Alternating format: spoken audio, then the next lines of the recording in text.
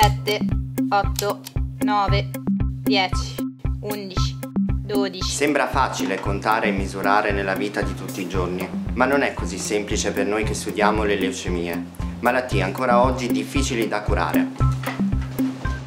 Nel sangue ci sono miliardi di piccolissime particelle, chiamate vescicole extracellulari, rilasciate dalle cellule maligne. In senso figurato possiamo considerare queste particelle come le parole che si scambiano le cellule per comunicare fra di loro. Interpretare il linguaggio che le cellule si scambiano può aiutarci a comprendere meglio le leucemie per una diagnosi più precisa e una terapia personalizzata.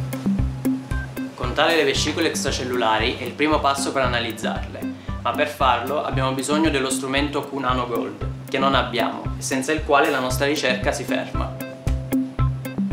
Siamo i ricercatori dell'Istituto di Ematologia Seragnoli di Bologna. Per acquistare lo strumento che conta le vescicole abbiamo bisogno di 30.000 euro e contiamo sul tuo aiuto. Sostieni la nostra campagna di crowdfunding e viva la ricerca sul sito ideaginger.it. Senza mezze misure!